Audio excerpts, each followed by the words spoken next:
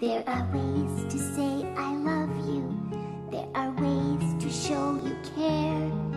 Something nice that says I love you, or a toy that you might share. There are ways to say I love you, and you don't need to be smart. Many ways you can say that I